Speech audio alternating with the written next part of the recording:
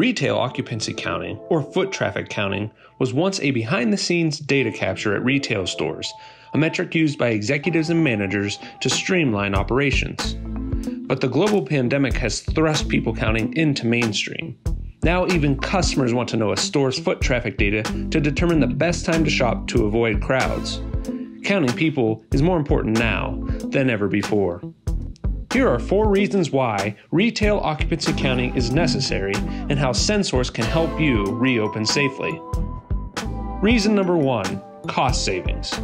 Between reduced staff and increased responsibilities, it's more efficient and a cost savings to use an automated system for retail occupancy counting as opposed to a staff member tally counting. A store with a single entrance, paying an employee minimum wage to tally count, would see a return on investment within a month for installing an automated system. Reason number two efficient staff scheduling. In addition to retail occupancy counting, you can use your traffic data to showcase peak and slow times, arming you with insights on how to schedule staff hours during this time of new normal and into the future. Vea Analytics has a great day hour heat map view to quickly see what days and hours receive the highest traffic. Reason number three accuracy. SenSource VidX people counting sensors track and count people with 97% or greater accuracy, guaranteed, so you can trust your retail occupancy counting metrics are accurate.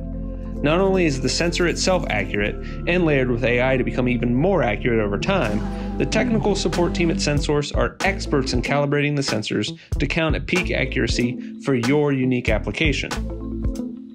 Reason number four promote safety.